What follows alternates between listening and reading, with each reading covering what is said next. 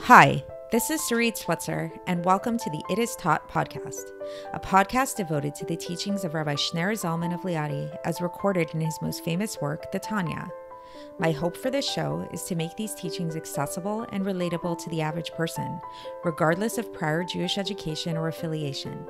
The episodes follow the prescribed daily study portions and are meant to serve as practical lessons in how to live your life as your true self and develop an authentic and powerful relationship with your Creator. I have personally experienced the effects the study of this work has had on me, and I'm excited to share what I can of this knowledge with you. So please join me on this journey of learning, self growth, and connection with your source.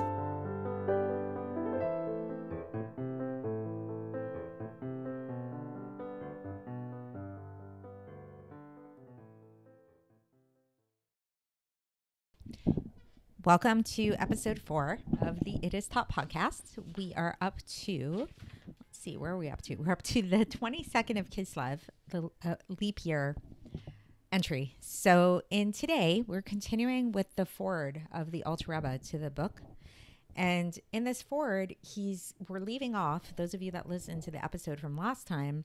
Uh, last time we we brought up a bunch of different challenges that the Alter Rebbe preemptively brought up that he knew people might have in terms of this book and how the limitations of a book in general of this sort and the limitations of having a book replace a live teacher and how you know there really are certain things that you can only really get from a live mentor that are going to be lacking when you have a book.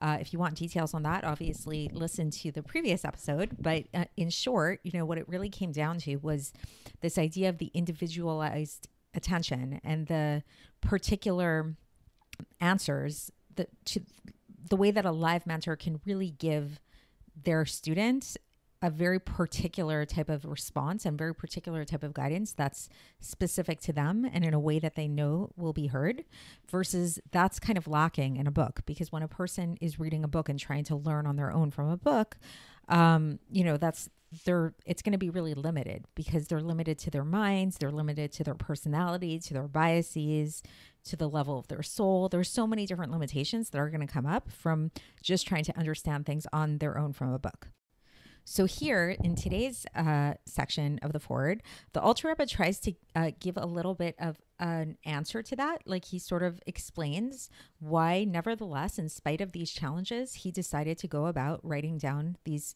these teachings. And in short, basically what he says is he says that these this book is not written just for anybody. He said that he was writing this for his students. He was writing this for his chassidim, who he knew really, really well. He had already had, you know, hours and hours and years of, you know, personal consultation with them. So he knew them very well. So it wasn't just like a random book. Future commentators have said, well, okay, we, we never met the Alter Rebbe. We did, he, he didn't know us. We never had a personal audience with him. But the the answer to that is that the Alter Rebbe kind of did know us. as strange as that sounds, is he he did. I mean, he knew he, because he knew his followers. By virtue of studying this book, you become one of his followers. And even though, sure, every single soul is really unique, at the end of the day, we really do share a lot of commonalities.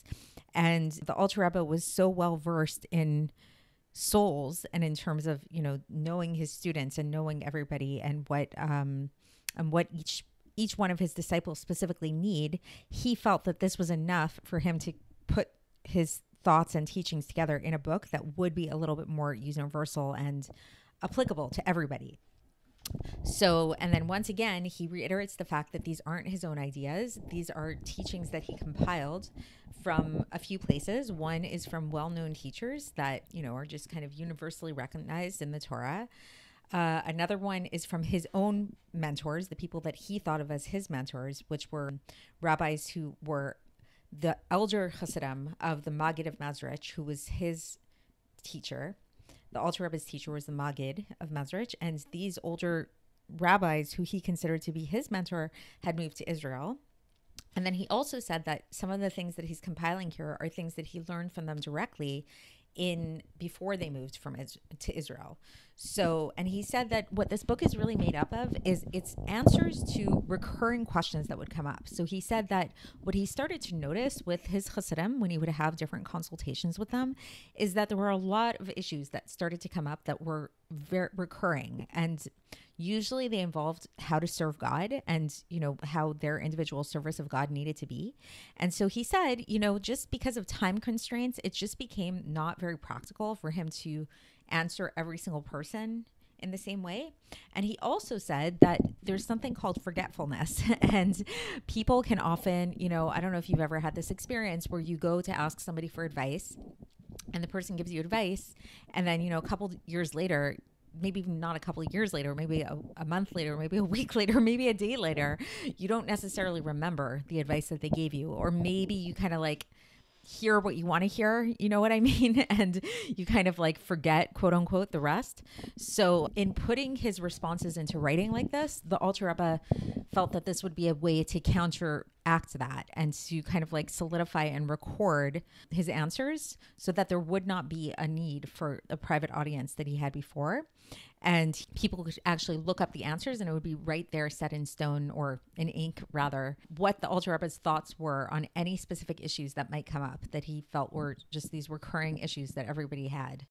And then he addresses the idea that he says that, as, as, we mentioned in yesterday's episode, we talked about how, yes, it's true that, you know, some people do have a more limited mind and won't necessarily some people will understand these teachings. As we go through the book we'll see you know some of the some of the teachings are fairly straightforward some of them are a little bit more difficult. So somebody who necessarily who isn't necessarily really intellectually adept let's say uh, might find themselves like reading this. Or even if you are you know you might be reading some of these teachings and kind of having a, a tough time understanding exactly what he's trying to say. As he said in those instances he says that you must go and discuss it with the teachers in your town like with your local torah scholars basically.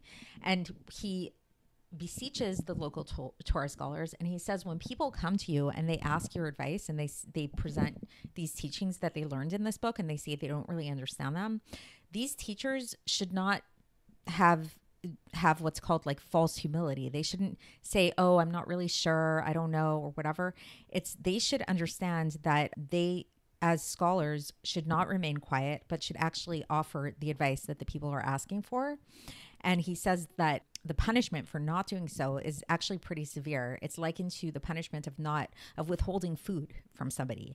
And by contrast, on the other hand, um, the reward for this is really great. If they do, actually, they're going to have a lot of blessings from God and everything. And then in this section, the Alter Rebbe finishes off and he says that he gives this like this general blessing and he says that he blesses that we should live in a time when there won't be a need anymore for one person to teach one another, but rather the knowledge of God will fill the entire earth.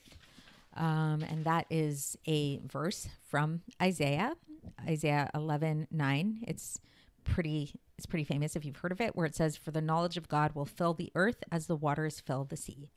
So that is the that's today's podcast. And so it's pretty short pretty straightforward. And i look forward to continuing next time next time it looks like we are going to be finishing the forward and then after that we're going to get straight into the book finally and we'll start getting into these teachings they're really deep they're really really transformative i'm really excited to learn them with you Thanks for listening to the It Is Taught podcast, hosted by Sarit Switzer.